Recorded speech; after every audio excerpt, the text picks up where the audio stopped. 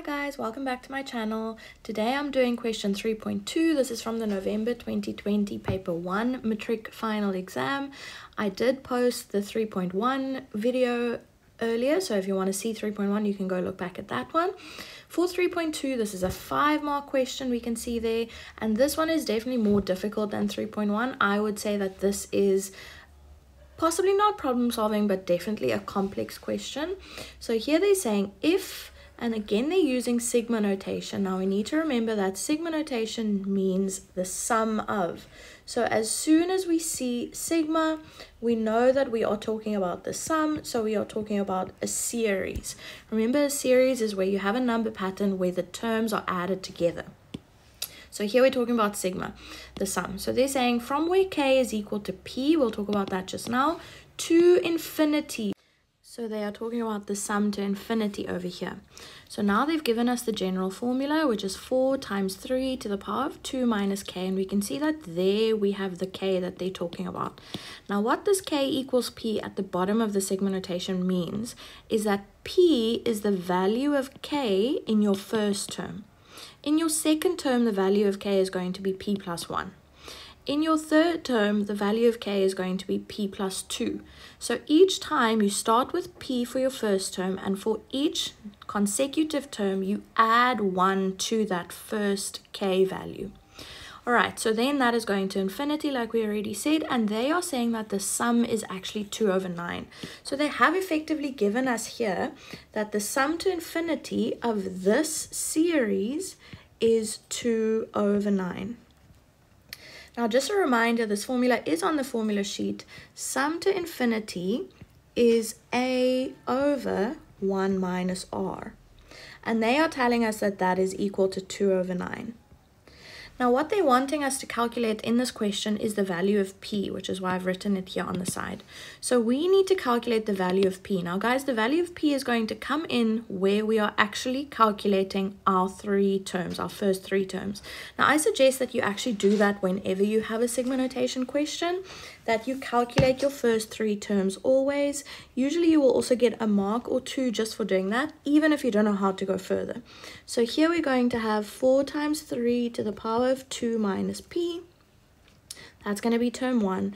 Our second term is going to be 4 times 3 to the power of 2 minus but now actually let me undo that because now we are not just subtracting k we are subtracting k, which is now actually p plus 1. So we would have to put that in brackets. So let's quickly simplify that because we can simplify it. It's going to be 2 minus p minus 1. And that can be further simplified to 3 to the power of 2 minus 1 is just 1. So this is going to be 1 minus p. All right, so that's term 2. Term 3 we're going to do a similar thing. We are going to take the general formula that they gave us, but now we're going to sub in p plus 2 for our k value. Remember, for your first term, your k value is p. For your second term, your k value is 1 more, p plus 1. And for your third term, your k value is going to be 1 more than the previous term, so p plus 2. Okay, so now we have 4 times 3 to the 2 minus p minus 2, which we can again simplify, and that is going to give us 4 times 3 to the power of negative p, because 2 minus 2 is 0. Now, if we list these terms next to each other, this is important, guys, because we need to now identify our a value and our r value so that we can put it into this formula which will allow us to calculate P. So we have the first term is that. Then, because it's a series, we would have to plus our terms. So the next term is going to be 3 to the 1 minus p like that. And the next term is going to be 4 times 3 to the negative p. Plus, we would then add a whole bunch of them together. But the first three is all we need. Now guys, if you are having trouble with actually seeing what your ratio is here, remember to get the ratio, you can always take term 2 over term 1 or term 3 over term 2. In this case, I think it would be easier to do term 3 over term 2. So let's do that. We're going to say 4 times 3 to the negative p divided by 4 times 3 to the 1 minus p. Okay, we can see straight away that the 4's can cancel out, which is good. So we're left with two powers here that have the same bases. And hopefully we remember what we do when we are dividing powers with the same bases. You are going to take the top exponent minus the bottom exponent. So this is going to be, let me actually just carry on here underneath. We're going to keep that same base of 3. We're going to take the top exponent, which is negative p. We are going to minus the whole bottom exponent I'm putting it in brackets because it consists of more than one term. I'm getting 3 to the negative p minus 1 plus p. And there we see that the p's in this case are going to cancel out because negative p plus p is 0. So we are left with 3 to the negative 1, which is in fact a third. Okay, so there we got the ratio of 1 over 3. Some of you might be able to identify just by looking at term 1, 2, and 3, in which case it's perfectly fine. You can just use it from there. But if you are unable to see it from looking at those terms, that's also okay. You can always fall back on this formula. Finding the ratio of any geometric series, you would have to take one term divided by the term before.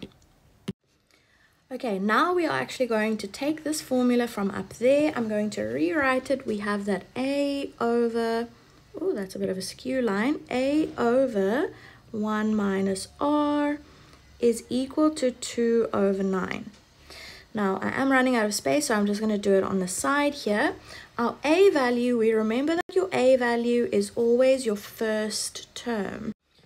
So the first term in this case was 4 times 3 to the power of 2 minus p. That is now going to be over 1 minus the ratio, which is a third, and that is equal to 2 over 9.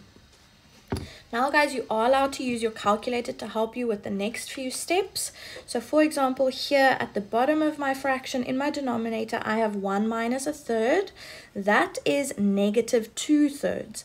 And what I'm then going to do is to get rid of this negative 2 thirds at the bottom, I'm going to multiply the other side by it. So in your calculator, you can type 2 over 9 multiplied by negative 2 over 3.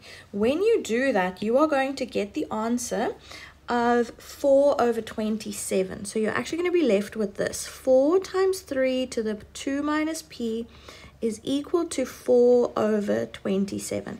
You can do it in multiple steps if you want to, but you can also just do that all in one step on the calculator. Now next up you need to get rid of this 4 because I'm multiplying by 4 on this side. I'm going to divide the other side by 4. So I'm going to say 4 over 27 divided by 4 and I'm going to be left with 1 over 27 from there. So we're going to have 3 to the 2 minus p is 1 over 27. Now this is an exponential equation. Remember when you have an exponential equation, you need to have the same base on both sides so that you can make the exponents equal to each other. So 1 over 27, if you want to write that with the same base, than what we have on the left hand side, which is a 3. That is going to be 3 to the power of negative 3 which now means that we have the same bases. So if 4, 3 to the 2 minus p to be equal to 3 to the negative 3, those two exponents would have to be equal to each other as well. So there we go, very easy to solve this. I'm just going to move this negative p over to the other side where it will become a positive p. And this negative 3, when I move it to that side, is going to become plus 3. So I'm going to be left with 2 plus this 3, which I'm moving, which is going to be 5, and equal to p on the other side. So 5 is equal to p, or if you want to write it the other way around, p is equal to 5. There we have it, guys. Like I said, this is quite a complicated question. It is a five mark question. In terms of mark allocation, just to give you an idea of what you would get marks for, you would get a mark for getting to the expression of your first term. Then you would get a mark for actually substituting your A and your P and your sum to infinity values. So only over here. So unfortunately, all of this work would not earn you any marks, which is unfortunate. But like I said, you could actually do this kind of by inspection. or yeah, you can always fall back on this formula if you need to. The next step or the next mark would be for getting to that step, that simplification step, basically getting to 4 over 27. This, the next mark would be for getting your bases to be equal and then the fifth and final mark is for your final answer. Alright guys, thank you so much for joining. If you haven't yet, please subscribe to my channel and stay tuned for more.